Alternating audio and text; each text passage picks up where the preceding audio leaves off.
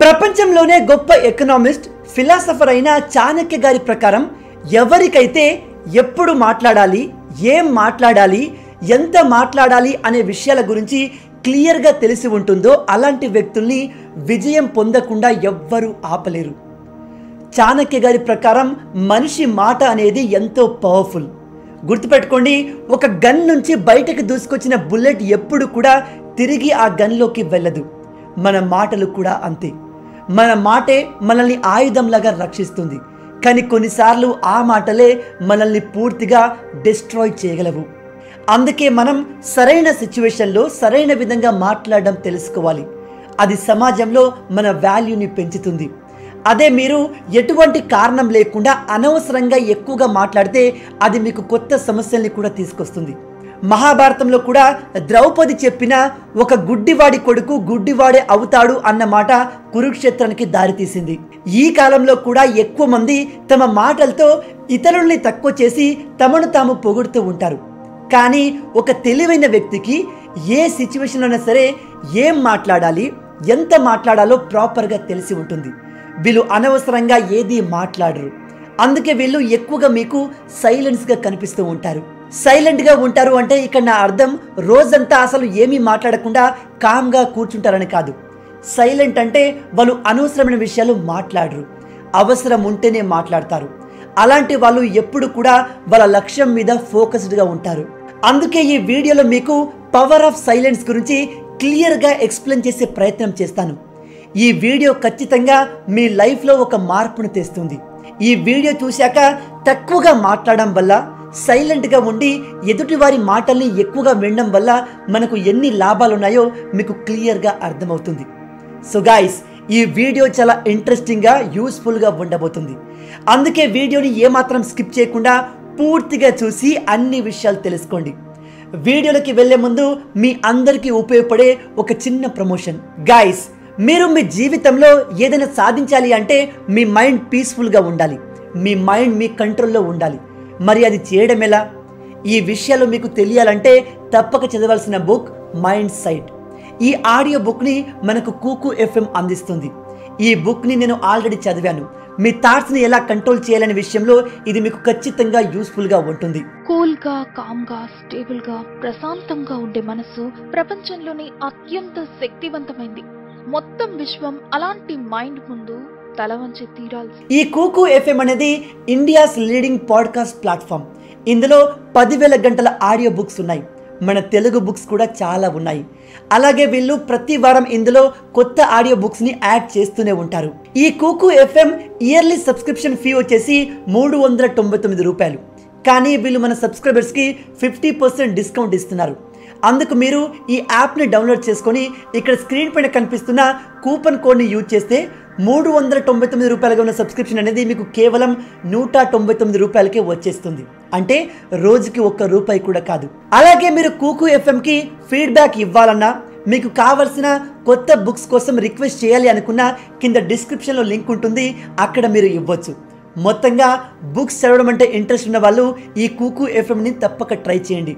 App link కింద డిస్క్రిప్షన్లో ఉంటుంది. డౌన్లోడ్ చేసుకొని మీ మనసుకు నచ్చింది వినండి. ఇక ఏమాత్రం ఆలస్యం చేయకుండా మన మెయిన్ టాపిక్లోకి వెళ్ళిపోదాం.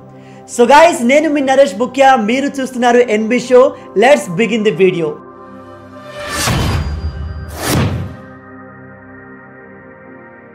number one silence gets people attention Chanakya Niti ప్రకారం ఆయన కేవలం తన మౌనంతో అనేక మంది శత్రువుల్ని జయించగలిగారు. అది ఎలా అంటే ఎప్పుడైతే ఈయన విరోధులు ఇతని గురించి చెడుగా తక్కువ చేసి రాజుగారికి చెప్తారో అప్పుడు అతను వాటికి ఎక్కువగా రెస్పాండ్ అయ్యేవాడు కాదు. మౌనంగా ఉండేవాడు. అలా అతని మౌనాన్ని చూసి ఇతని విరోధులు ఇంకా కావాలనే ఎక్కువ చేసి చెప్పేవారు. కానీ చాణక్యుల వారు తెలివిగా కావాలనే వాళ్ళ విరోధులకు ఎక్కువగా మాట్లాడే అవకాశం ఇచ్చేవారు. దాంతో వాళ్ళు లేనివి కూడా రాజుగారి దగ్గర క్రియేట్ చేసి మరి చెప్పేవారు. అప్పుడు చివరికి ఈ మెయిన్ పాయింట్స్తోనే చాణక్య గారు రాజుగారి దగ్గర మాట్లాడి వాళ్ళందరినీ ఓడించేవారు. అది ఎలా అంటే మీ విరోధులు మీ పైన ఎమోషనల్గా అటాక్ చేస్తున్నప్పుడు మీరు ఏమాత్రం రెస్పాండ్ కాకుండా మౌనంగా ఉండడం అనేది మీరు తిరిగి వాళ్ళపైన అంతకన్నా బెటర్గా అటాక్ చేయడానికి ఒక మంచి అవకాశాన్ని ఇస్తుంది. ఇక్కడ మీరు గమనించాల్సిన విషయం ఏమిటంటే మీరు సైలెంట్గా ఉండడం అనేది ఇతరుల అటెన్షన్ని చాలా ఈజీగా గ్రాప్ చేస్తుంది. దీన్ని మీకు ఒక చిన్న ఎగ్జాంపుల్తో క్లియర్గా ఎక్స్ప్లెయిన్ చేస్తాను. మీరు ఏదైనా ఒక క్లాస్ని తీసుకుంటే అందులో టీచర్ స్టూడెంట్స్కి కంటిన్యూగా పాఠాలు చెబుతున్నారు అనుకుందాం. అలాంటప్పుడు క్లాస్లోని పిల్లలందరూ ఆ పాఠాలని వినరు. కేవలం కొంతమంది మాత్రమే అటెన్షన్తో వింటూ ఉంటారు. కానీ సడన్గా ఆ టీచర్ మాట్లాడడం ఆపేస్తే మాత్రం క్లాస్ మొత్తం కూడా అటెన్షన్ అయిపోతుంది. ఈవెన్ ఆ పాఠాలు వినని పిల్లలు కూడా అటెన్షన్తో సార్ వైపే చూస్తూ ఉంటారు. ఇలాంటి ట్రిక్ని మా స్కూల్లో కూడా మా టీచర్లు మా పైన ఉపయోగించేవాళ్ళు. బహుశా దీన్ని మీరు కూడా ఎక్స్పీరియన్స్ అయి ఉంటారు. అయితే ఈ సేమ్ ఫార్ములాని మీరు కూడా మీ లైఫ్లో ఉపయోగించవచ్చు. అంటే మీరు ఎవరిని పట్టించుకోకుండా మీ పని మీరు చేసుకుంటూ వెళ్ళండి. అనవసరమైన విషయాల్లో జోక్యం చేసుకోకుండా కేవలం మీ లక్ష్యంపైనే ఫోకస్డ్గా ఉండండి. అలాంటప్పుడు మీ చుట్టుపక్కల వాళ్ళు కూడా మిమ్మల్ని క్లోజ్గా అబ్జర్వ్ చేయడం మొదలు పెడతారు అలాగే వాళ్ళు మీ మాటకు వాల్యూ ఇస్తారు. ఎందుకంటే వాళ్ళందరికీ తెలుసు మీరు ఎటువంటి రీజన్ లేకుండా అనవసరంగా మాట్లాడరు అని. అవునా కదా? అందుకే ఇకపై నుంచి అనవసరమైన విషయాలు మాట్లాడడం ఆపేసి అవసరం ఉంటేనే మాట్లాడండి. అలాంటప్పుడు మీ ఎనర్జీ మొత్తం కూడా మీ లక్ష్యం పైన ఆటోమేటిక్గా ఫోకస్ అవుతుంది. Number two silence helps in negotiation. మౌనంగా ఉండడం అనేది మీరు ఏదైనా డీల్ చేస్తున్నప్పుడు నెగోషియేషన్ చేస్తున్నప్పుడు చాలా బాగా ఉపయోగపడుతుంది. ఎందుకంటే మీరు మీ క్లయింట్తో నెగోషియేషన్ చేస్తున్నప్పుడు ఒక్కసారిగా మీరు సైలెంట్ అయిపోయి వారికి సమాధానం ఇవ్వడం ఆపేస్తే ఎదుటి వ్యక్తి కూడా మాట్లాడడం ఆపేసి మీరేం ఆలోచిస్తున్నారా? అని ఆలోచించడం మొదలు పెడతాడు. ఈ విషయాన్ని మీరు అడ్వాంటేజ్గా తీసుకోవాలి. ఉదాహరణకి మీరు మీ క్లయింట్తో ఏదైనా ఒక ఫైనాన్షియల్ డీల్ చేస్తున్నారు అనుకుందాం. అప్పుడు మీరు మీ క్లయింట్కి తొందర తొందరలో ఎస్ ఆర్ నో అనే ఆన్సర్లు ఇవ్వకుండా వాళ్ళు ఏదైనా అడిగినప్పుడు కొద్దిసేపు ఆలోచిస్తున్నట్టుగా సైలెంట్ అయిపోండి. దాంతో మీ ఎదుటి వ్యక్తి కన్ఫ్యూజ్ అయిపోయి ఆ గ్యాప్లో ఇంకా ఎక్కువ మాట్లాడే ప్రయత్నం చేస్తాడు. అప్పుడు అతను తనకు తెలియకుండానే మీకు కావాల్సిన చాలా అడిషనల్ ఇన్ఫర్మేషన్ ఇస్తూ ఉంటాడు. ఆ ఇన్ఫర్మేషన్ యూజ్ చేసుకొని మీరు ఇంకా బెటర్గా నెగోషియేట్ చేయగలరు. ఇలాంటి డీల్స్ షాపింగ్ మాల్లలో రియల్ ఎస్టేట్లో ఎక్కువగా జరుగుతాయి. Number three silence helps you to build trust guys మీరు మీ పార్ట్నర్తో ఒక హెల్తీ రిలేషన్ని బిల్డ్ చేయాలి అనుకుంటే ముందు మీ ఇద్దరి మధ్య ట్రస్ట్ బిల్డ్ అవ్వాలి.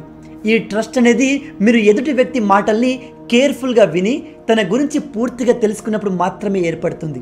అంటే మీరు తక్కువగా మాట్లాడి మీ పార్ట్నర్ మాటల్ని ఎక్కువగా వింటే మీరు వాళ్ళ గురించి ఇంకా బెటర్గా తెలుసుకోగలరు. అంతేకాకుండా వేరే వాళ్ళు మాట్లాడుతున్నప్పుడు మీరు సైలెంట్గా ఉండి కేర్ఫుల్గా వాళ్ళ మాటల్ని వింటే ఎదుటి వ్యక్తి మీరు మంచి వాళ్ళని మీరు ఎదుటి వ్యక్తికి రెస్పెక్ట్ ఇస్తారని చెప్పి మీ పైన ఒక పాజిటివ్ ఇంప్రెషన్ క్రియేట్ చేసుకుంటారు.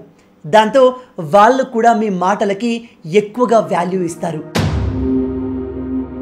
Number four silence gets the answer మనలో ఉండే కొంతమంది వాళ్ళు ఏదైనా క్వశ్చన్ అడిగినప్పుడు ఎదుటి వ్యక్తికి ఆన్సర్ ఇవ్వడానికి అవకాశం ఇవ్వకుండా ఆ క్వశ్చన్తో పాటు మాట్లాడుతూనే ఉంటారు.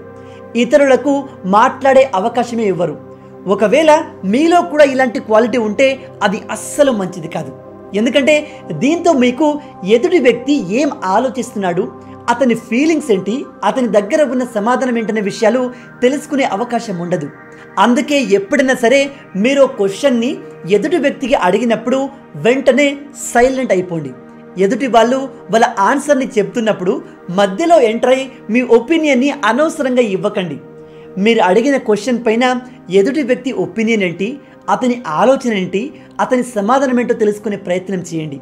అలా చేయడం వల్ల బహుశా మీకు కొత్త విషయాలు కూడా తెలుసుకునే అవకాశం ఉంటుంది. ఇదే క్వాలిటీ మన స్వామి వివేకానంద గారిలో కూడా ఉండేది. స్వామి వివేకానంద గారు ఎంతటి మహానుభావులో మీ అందరికీ తెలిసే ఉంటుంది. అతను కూడా తన గురువైన రామకృష్ణ గారిని ఏదైనా క్వశ్చన్ అడిగినప్పుడు వెంటనే కామ్ అయిపోయేవారు. దాంతో అతను తన గురువు గారు ఇచ్చిన సమాధానం పూర్తిగా తెలుసుకోవడమే కాదు ఆ ప్రశ్న గురించి గురువు గారు ఏ విధంగా ఆలోచిస్తారనే విషయం కూడా క్లియర్గా గ్రాప్ చేసేవారు. Number five silence is a soft power silence అనేది ఒక సాఫ్ట్ పవర్ లాంటిది. ఈ సాఫ్ట్ పవర్తో మీరు ఇతరులతో డైరెక్ట్గా పోరాడకుండానే ఈజీగా గెలవగలరు. దీనికి బెస్ట్ ఎగ్జాంపుల్ మన మహాత్మా గాంధీ గారు. స్వాతంత్ర ఉద్యమంలో అతను ఎటువంటి హింసను పాటించకుండా సత్యం అహింస మార్గంలోనే బ్రిటిష్ వాళ్ళను సునాయాసంగా ఓడించగలిగారు. ఎందుకంటే మహాత్మా గాంధీ గారికి చాలా బాగా తెలుసు. మనం బ్రిటిష్ వాళ్ళతో యుద్ధం చేస్తే ఆ యుద్ధాన్ని మనం ఖచ్చితంగా అంత ఈజీగా గెలవలేము. రక్తపాతం జరుగుతుంది. ఎంతోమంది అమాయకులు తమ ప్రాణాన్ని కోల్పోతారు. అందుకే గాంధీ గారు ఈ సాఫ్ట్ పవర్ని ఉపయోగించి బ్రిటిష్ వాళ్ళను ఓడించగలిగారు. అలాగే మీలో కొంతమందికి తెలిసే ఉంటుంది. మన లైఫ్లో కొన్ని ప్రాబ్లమ్స్ని ఇతరులతో పోట్లాడడం వల్ల కాకుండా సైలెంట్గా కామ్గా కూర్చోవడం వల్ల సాల్వ్ చేసుకోగలము. ఈ విషయం రిలేషన్లో ఉన్న వాళ్ళకి బాగా అర్థమై ఉంటుంది. Number six thoughtful silence the quiet book author అయిన సూజన్ ప్రకారం థాట్ఫుల్ సైలెన్స్ అనేది మనల్ని అనేక సమస్యల నుంచి కాపాడగలదు అది ఎలా అనేది మీకు చిన్న ఎగ్జాంపుల్తో ఎక్స్ప్లెయిన్ చేస్తాను నా ఫ్రెండ్ రామ్ ఒక కొత్త మొబైల్ కొనుక్కోవడానికి దగ్గరలో ఉన్న టౌన్కి వెళ్తున్నాడు మధ్యలో రామ్ ఫ్రెండ్ అయిన సురేష్ కలిసి రామ్ నువ్వు ఏ షాప్లో అయితే ఫోన్ కొంటున్నావో ఆ షాప్ దారిలోనే మధ్యలో మా ఆఫీస్ ఉంది. అక్కడ ఇదిగో ఈ ప్యాకేజ్ ఇచ్చేయని చెప్పి ఒక బ్యాగ్ని ఇస్తాడు. సురేష్ రామ్ ఫ్రెండ్ కాబట్టి నో చెప్పలేక మొహమాటంతో ఆ బ్యాగ్ని తీసుకుంటాడు. అయితే ఆ ప్యాకేజ్ డెలివరీ చేయాల్సిన ఆఫీస్ తను ఫోన్ కొనబోయే షాప్ కంటే చాలా దూరంలో ఉంది. దాంతో ఆ ప్యాకేజ్ డెలివరీ చేయడంలో టైం అంతా వేస్ట్ అయిపోయింది. బాగా లేట్ అయిపోవడంతో రామ్ షాప్కి వెళ్ళేసరికి షాప్ క్లోజ్ అయిపోయింది. దాంతో అతను ఆ రోజు ఫోన్ కొనలేకపోయాడు. రామ్కి విపరీతమైన కోపం వచ్చింది. కానీ అతను ఏమీ చేయలేడు. ఎందుకంటే ఇది తాను తీసుకున్న డిసిషనే కాబట్టి. ఈ స్టోరీ మీకు సిల్లీగా అనిపించి ఉండొచ్చు. కాకపోతే ఈ సేమ్ సిచ్యువేషన్ వేరే పెద్ద విషయాలు కూడా జరగచ్చు. అందుకే ఎప్పుడు కూడా మొహమాటానికి పోయి ఏ విషయాన్ని ఒప్పుకోవద్దు. ఎవరైనా మీకు ఏదైనా ఫేవర్ అడిగినప్పుడు అది మీకు వీలు కాకపోతే సైలెంట్ అయిపోవడం లేదా నో చెప్పడం అనేది చాలా ముఖ్యం. మొత్తంగా నేను మీకు చెప్పదలుచుకుంది ఏమిటంటే మౌనానికి చాలా పవర్ ఉంటుంది. ఇతరుల సైలెన్స్ని మనం ఎప్పుడు కూడా అండర్ ఎస్టిమేట్ చేయకూడదు. కొన్నిసార్లు మాట్లాడకుండా సైలెంట్గా ఉండడం అనేది మిమ్మల్ని సమస్యల నుంచి కాపాడగలదు. అందుకే అంటారు ఎక్కడ నెగ్గాలో కాదు ఎక్కడ తగ్గాలో కూడా తెలిసి ఉండాలని.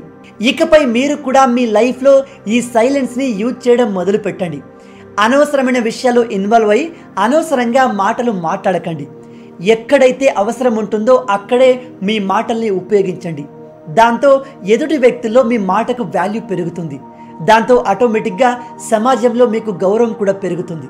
సో గాయస్ మొత్తంగా ఇవి ఈ వీడియోకు సంబంధించిన పూర్తి విషయాలు. ఈ వీడియో ద్వారా మీరు కొన్ని కొత్త విషయాలు తెలుసుకొని ఉంటారని ఆశిస్తున్నాను. అలాగే మా వీడియోస్ మీకు నచ్చినట్టయితే లైక్ చేసి మా ఛానల్ని సబ్స్క్రైబ్ చేయొచ్చు కదా. ఈ వీడియో మీకు ఏ విధంగా అనిపించిందో కింద కమెంట్లో మాతో షేర్ చేసుకోండి.